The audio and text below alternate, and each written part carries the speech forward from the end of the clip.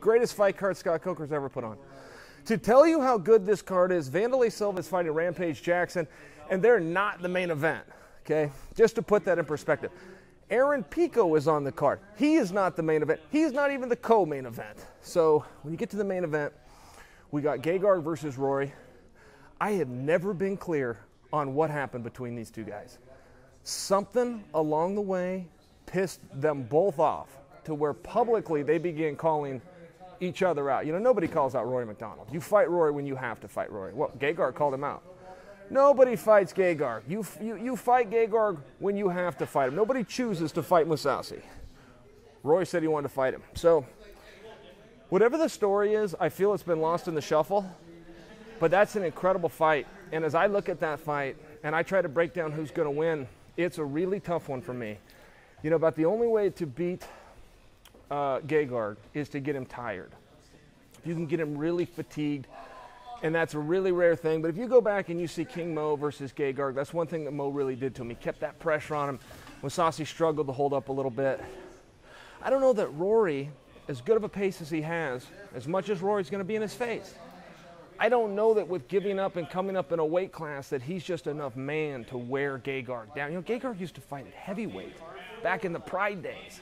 He was training with Fedor. He was in the ring against Mark Hunt. I mean, I just don't know that he's going to have a problem in the 25 minutes in the endurance category with a 170 pounder. I don't know.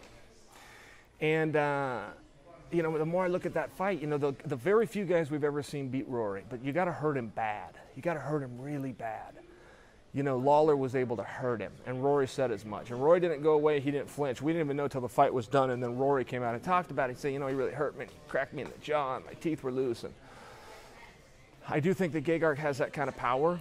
I think he's got the power over 25 minutes to hurt Rory, but um, that's just a great fight.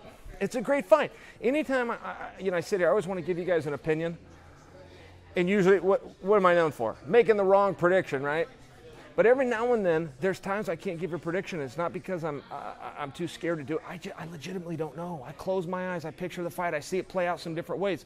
I turn the camera on, I, tell, I come tell you guys what I think, for right or wrong. That's a really tough one for me. And, you know, sh- should Rory win it, creates a big log jam, log jam. You know, he gets to go down.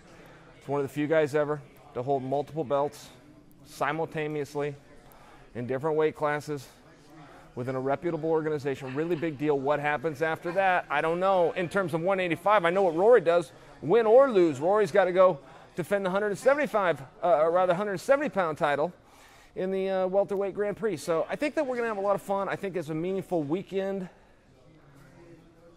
Stick around. Let's see what drama plays out.